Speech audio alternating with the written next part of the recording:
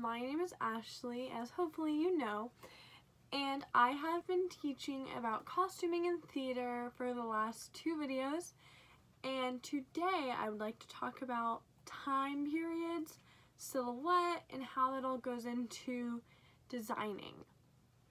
But this week we have a theme for our um, organization called Activism Fine Arts. And today I'm going to be talking about how the LGBTQ community has influenced fashion history, has influenced um, different time periods, and how it's a very big part of fashion and how that all goes into costuming. So don't forget to follow, like, and subscribe, and let's get into it.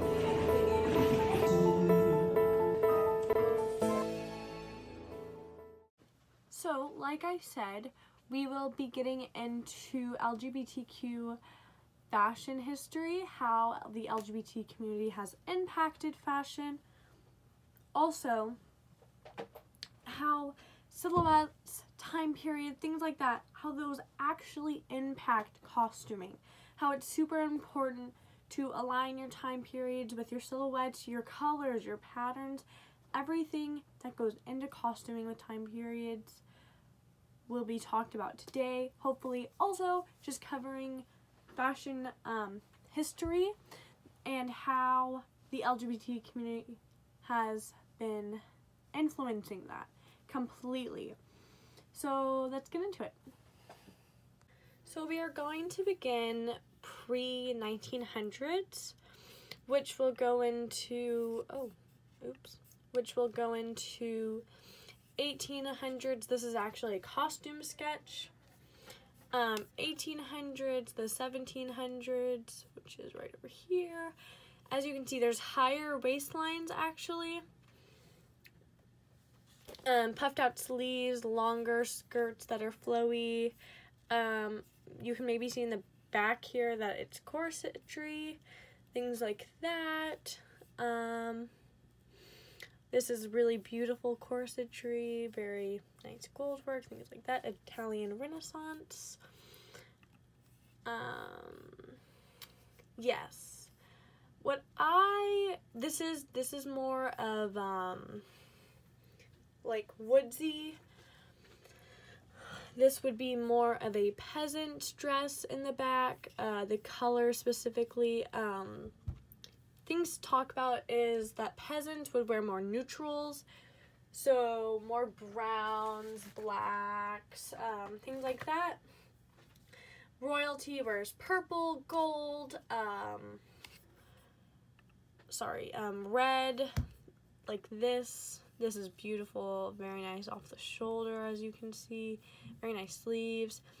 Um, all their dresses had really nice detailing, things like that, like Look at this beautiful sleeve. I love it. This is in the Met Museum. Absolutely beautiful. Turquoise. Nice color. Um, also here you can see the detailing, the puff sleeves, the waist detail, things like that. Women wore petticoats under their dresses. There were also cage skirts, hoop skirts, things like that. This is a picture just all about sleeves. Um, tiered sleeves. This is a capped sleeve down here. We still use those kind of sleeves today. Slit sleeve, things like that.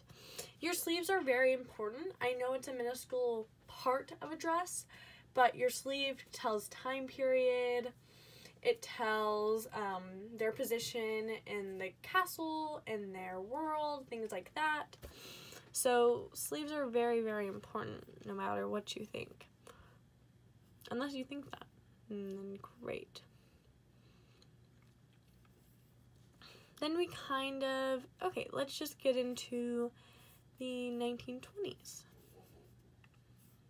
So, going from the 19 20s. Um, I did a show, we're just gonna go over here. I did a show called Describe the Night where there was the 1920s, the 40s, um, the 80s, and 2010s all wrapped into one show. So it led me down a very large rabbit hole of um, of just different time periods. So I found a lot of research on a lot of different stuff. I've been researching time periods for all of my costume career. I did a show called One Man Two Guvnors. Um, that was all in the 60s. We did that in the like 60s time period. We do a lot of our shows in the 80s actually. Our director really likes that. So let's talk about the 20s. So as you can see here, from 1920 to 1929, a lot of it is drapery. I will show more pictures about drapery. Um, of course, you should know from the 20s, flapper girl dresses, as you can see here and here, uh, here as well. A lot of drapery, a lot of layering. You can see that they got the drapery from the, um, the tins, I guess. Also, your dresses, your highest dresses in this time period were just at the knee, and that was a little scandalous, I'm going to be honest, back then. This was also during the Roaring Twenties, just to give you context, um, decade-specific things now that I'm going to show you. So the 1920s, as you can see here, a lot of drapery, a lot of pulling together, a lot of fabric is being used on these dresses. These were pretty long dresses. Um, these were for older women. Um, really nice. Um, finger curls were the hairstyle back then. Um, yes, also they had a lot of nice patterns. A lot of their clothes were very, very nice. Um, here's also a lot of drapery. You can see as um, their waist, their waists are pulled together here. Um, a lot of pulling, like I said. Um, here's also a snapshot of the 20s by each year. Um, as you can see, a lot of fabric is being used. Uh, hats were very, very essential. You can see up here that their dresses got shorter during 27. Um, yeah, a lot of hats, a lot of hats. Yeah, so let's go into the 40s.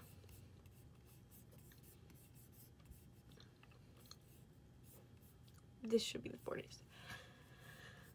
So you can see that dresses got shorter, a lot of pattern. Um, this collared and button-down dress was very popular in the 40s. But I also found women started to wear trousers, not as much as the 60s or the 50s, but they did start to wear trousers in the in the 40s. A lot of dresses I've noticed are like this. I mean, this is not out of the 40s. It is a 40s inspired dress. But they have a lot of bun bunching at the um, bust area, pulled in waist, and then a flare skirt. So like this, bunching at the bust, pulling at the waist, a flare skirt. Um, this was a more fancy dress for the 40s, obviously as you can see, but like I said, a flowy skirt pulled in waist, this is totally different from the 20s. If you were paying attention, the 20s did barely had a waistline, if any. A lot of drapery, a lot of fabric usage. Um, yeah, so completely different. As you can see, it has a really nice back detail, a low, um, a low back with a big old bow. Very, I love this dress actually, and the color, it's beautiful. Also, this was a little bit fancier. As you can see here, this is kind of the same. This one here, like I was saying, um, it actually has the same waist detail as the other dress I showed you that was 40s inspired. Um, sorry. Um, er, her waist actually goes in between her bust and then her waist is pulled in, a flare skirt. So, very, very nice trousers, like I was saying. Um, like I also said, the button collar dresses, very popular back then. They're also very popular in the 60s, which we will be talking about next. Um, as we get into later and later decades, you'll really realize how much the previous era really played into the next. And how when we get to the 1990s, you can just see so many references um, and how it's hard to actually be like this is their own era because a lot of eras are usually mixing and matching their own styles. So first I want to show you like teenagey, early 20s fashion, which this, I absolutely love it. I love the green. As you can see, the skirts and shirts and shorts and things definitely got shorter above the knee. Um, they had really nice patterns in the 60s, the 70s, really nice colors like this. Like, look how beautiful that is. Um, in the 60s, bell bottoms actually became a thing. Um, they really boomed in the 70s though. I love this picture. I love the um, the dresses, the tights. That that was a huge thing. Um, pattern dresses and then big colorful pattern tights as well. Um, this outfit I love actually. It's so cute. Um, Birdie, who was a huge model back then, um, she has those iconic eyelashes. Um, this was one of her outfits. You can see the tights, the skirt, super short for the time period. Um, colors, these patterns. I will also talk about androgyny and how that has played into fashion and things like that once I go into talking about LGBTQ influence on fashion. So also crop tops came into came into style in the 60s. Honestly, women got super like I said in the 20s, they got kind of scandalous with those low V's and those short dresses, but I would say in the 60s, women really really did what they wanted they said, you know what, I'm gonna wear a crop top if I want, and guess what? I look good. Period, love. So, like I was saying, um, shorter hemlines, shorter shirts for sure. Bell bottoms became a thing. Yes. So let's just go back. Um, like I said here about the pattern tights, the pattern dresses, and look, she just pulls it off. These actually aren't pattern it's like fishnets, but it's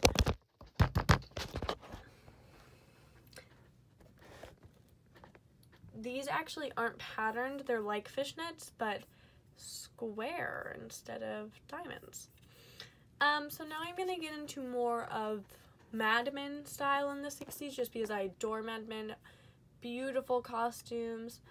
Like here, like look at this dress, that petticoat underneath it.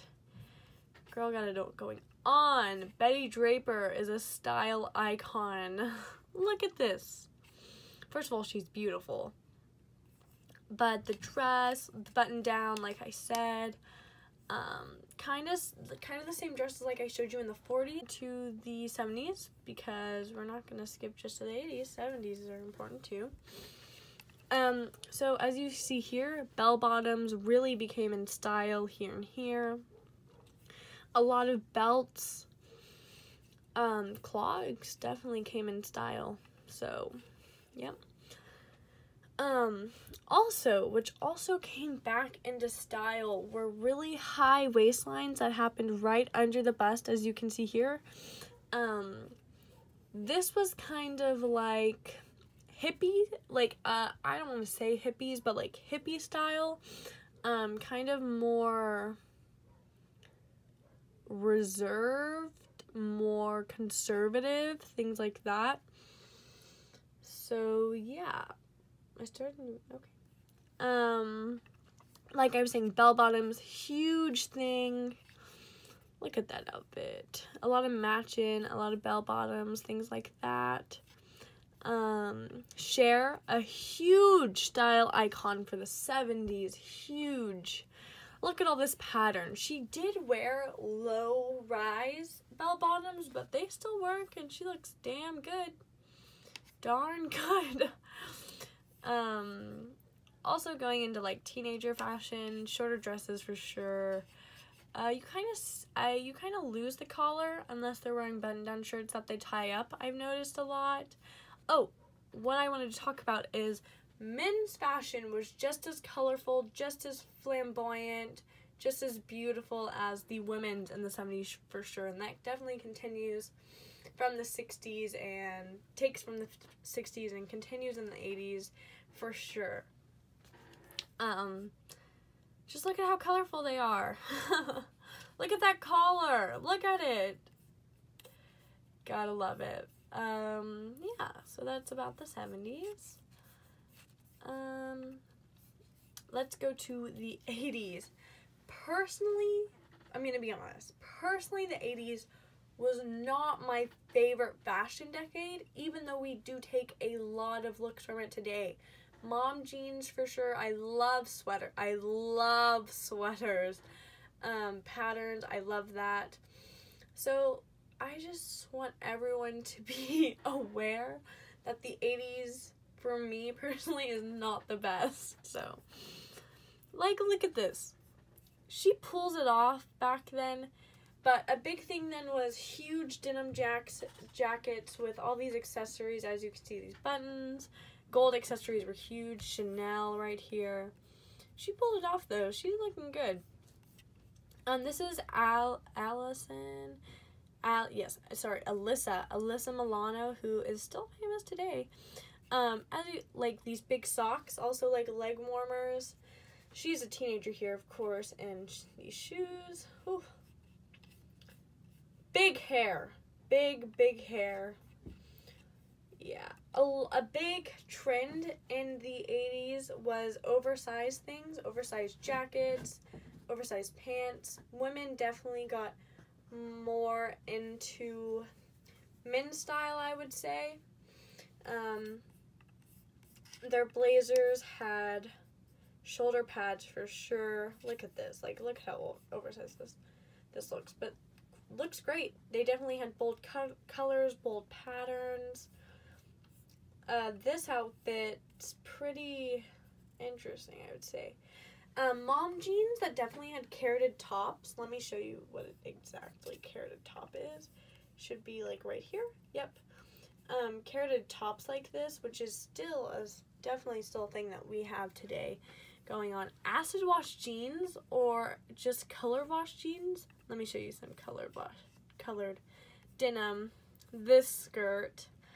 Um, that was a huge thing in the 80s. If you put a girl in a skirt looking like that, your audience will 100% know you were in the 80s. So, yes. Also, a big thing, big patterns, like I said, big oversized things like this just uh, big old high-waisted pants. Love high-waisted pants. Um, these oversized shorts. Sneakers like this. Um, I forgot to mention in the 60s, but the 60s were huge for their go-go boots. So, yes. Um, also just denim. Denim was a big thing. High-waisted mom jeans, like I said. So, yeah. Let's go on to the 90s. The 90s were pretty iconic. Very iconic, let me rephrase. Uh, especially with the Friends girls, Rachel, Monica, and Phoebe. Fashion is pretty unmatched. Pretty cute, I would say. Um, but in the 90s, a lot of layering happened, as you can see here with this cute little dress and that cute daisy shirt here with a Rachel or Jennifer Aniston. Tank top, tank top over a t-shirt. Here, flannel, big baggy jeans. More layering here and here. Super cute. Um, also, pants like these were huge um, and that tied up shirt was a huge thing. Oh, we can talk about this man right here. Um, pants like this were huge jeans for men. A huge, huge thing in the 90s. Um, also this picture, which I love. Bomber jackets for men and girls. Um, high-waisted jeans, like I said. Turtleneck and layering with a flannel. Huge, um, huge fashion statement there. Like I said, mom jeans. You can see how thick that denim is. Um, that's Monica. Yep. So that's the 90s. So let's just talk about the 2000s. Specific shows and movies have really had an impact on me as a designer by looking at their silhouettes, their their costume choices, their colors, things like that that can that really just if you're paying attention as an audience, I really think you'll remember it. So now, my favorite part of the entire video, although I love talking about clothes, um, let's talk about the LGBTQ influence on these time periods and on these fashion statements and looks and styles. So first, I want to talk about the 1950s, which I know we did not directly cover, but yes, so in the 50s, women really started to wear trousers. Like I said, in the 40s, there was a little bit of it, and then it really bloomed in the 50s to 60s. And then until the 1970s, the trousers served as an identification for lesbians. Uh, although not all lesbians adopted it, of course, because some um, still liked their feminine qualities and identities and wanted to emphasize that, which is great. I love it. Um, let's then go to, let's talk about, let's just next talk about the AIDS crisis. Oh wait, no, no, no, no. I want to go in order. So we are going to talk about Stonewall. And lesbian style really evolved, moving from butch to femme um, towards an androgynous anti-fashion look, which is why it di diversified styles that often reference subcultures like punk, goth like that, things. Like I was saying, um, towards the 60s and the 70s, how a lot, oh, and the 80s, uh, blazers, trousers, they were really dressing like, well, a man in that time period. So, next I want to talk about the AIDS crisis, which was it was a big deal. A lot of fashion designer actually died during that time, including Perry Ellis, Halston, and Bill Robinson. And they were um, featured as a wide range. They were featured for a wide range of activists that made T-shirts for ACT UP, Queer Nation, the Lesbian and Gay Rights March in Washington, and the iconic Read My Lips. Um, this emphasized gay rights and human rights. The ex exhibition exhibition concluded with a section on gay wedding fashions as the sartorial expression of the issue of marriage equality. So yes, let me show you a look from that um, from that.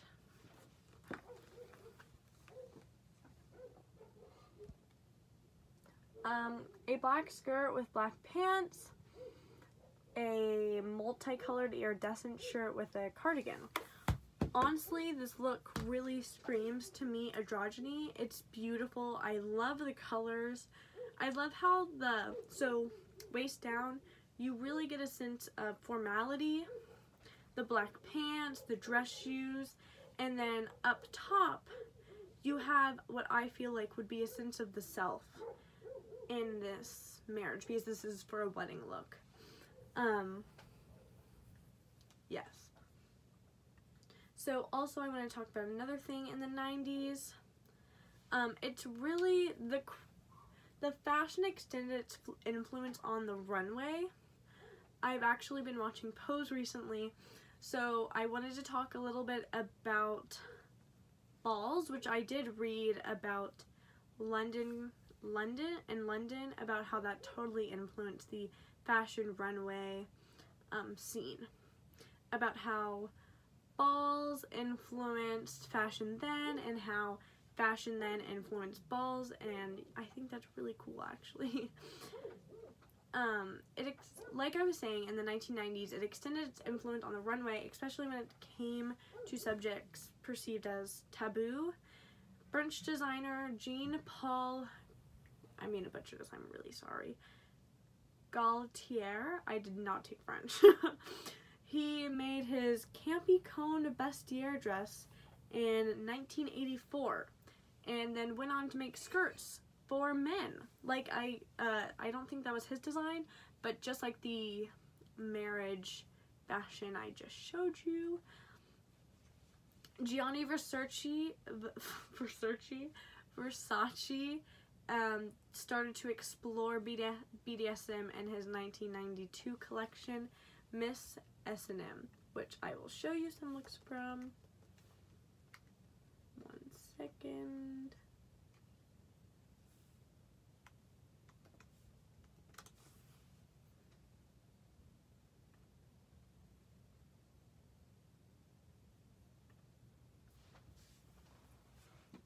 So if you remember, like I was saying, why are you